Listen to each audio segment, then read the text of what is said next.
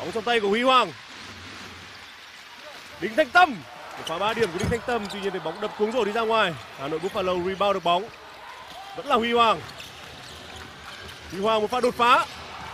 Không thành công rồi, bóng trong tay của Jeremy Smith và lại là một pha phản công nhanh. Hai điểm tính cho Jeremy Smith. Ta thấy rất nhiều tình huống tương tự như pha ghi điểm vừa rồi của Jeremy Smith đã diễn ra. Hồ Chí Minh City Wings đã có được một chiến lược tốt trước Buffalo và lại là một tình huống như vậy. Jeremy Smith 6 điểm liên tiếp cho Jeremy Smith với một kịch bản vô cùng giống nhau. Rất Có đến 3 turnover dành cho Huy Hoàng rồi. Và như chuyên gia của chúng tôi có nói lúc đầu thì Hồ Chí Minh City Wing phản công nhanh rất nguy hiểm. Ông Eric Arasat đây là Đinh Thanh Tâm, Huy Hoàng lại ném ba. Cho tới lúc này của trận đấu thì các cầu thủ Hà Nội Buffalo đã có 4 pha ném ba thành công, nhiều gấp đôi so với Hồ Chí Minh City Wings. Đình tiến công, bóng vẫn trong tay của các cầu thủ áo trắng. Phòng ngự quá hay và block tuyệt January bị block rồi, block đến từ vị trí của January. Vẫn tiếp tục. Tuy nhiên là một steal đến từ Russell Smith. Rất nhanh, Tiến Dương. Hai điểm tính cho Tiến Dương. Một pha phối hợp rất đẹp mắt đến từ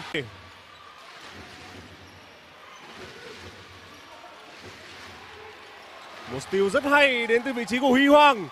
Tiến Dương. Hai điểm tính cho Tiến Dương. Đây đã là turnover thứ tư của cầu thủ Hồ Chí Minh City Wings kể từ đầu hiệp 2, đầu hiệp 3 này. Và chúng ta đã em ba không biết trượt trong trận đấu này.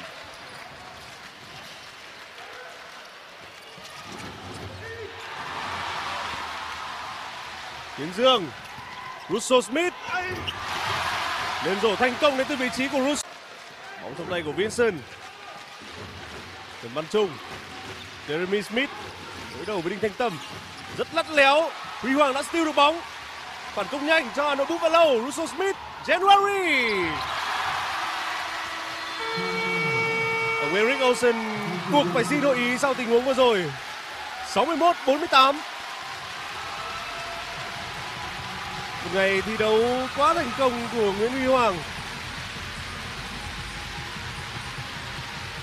ta đang xem lại pha lên rổ của January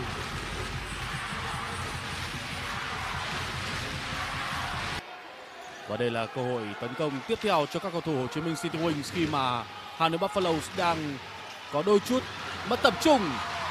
Ngay sau đó là Nguyễn Tiến Dương với một pha steal cực kỳ ban đầu thì Vincent và Tâm Đinh là một matchup rất đáng xem trong trận đấu này. Hiện tại bị steal rồi. Người steal được bóng là Nguyễn Tiến Dương.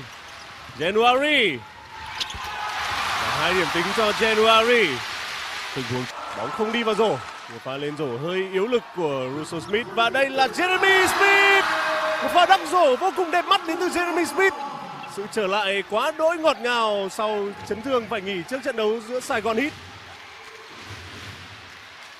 bật rất Đinh Thanh Tâm. Đinh Thanh Tâm quyết định đột phá cá nhân, một đường truyền rất hay của Đinh Thanh Tâm, Nguyễn Tiến Dương.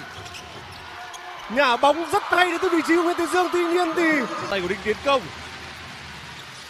Đinh Tiến Công quyết định đánh chậm lại để đợi đồng đội của mình. January, Việt Hoàng. Và block rất tốt của Amir William.